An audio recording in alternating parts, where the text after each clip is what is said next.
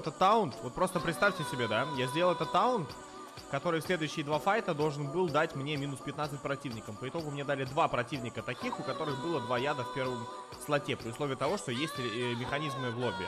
Вопрос, насколько их материя шлюхи, раз они так делают? То есть они при, при, э, при мехах в лобби, при том, что у меня смешные карты написано, они ставят э, яд первым слотом.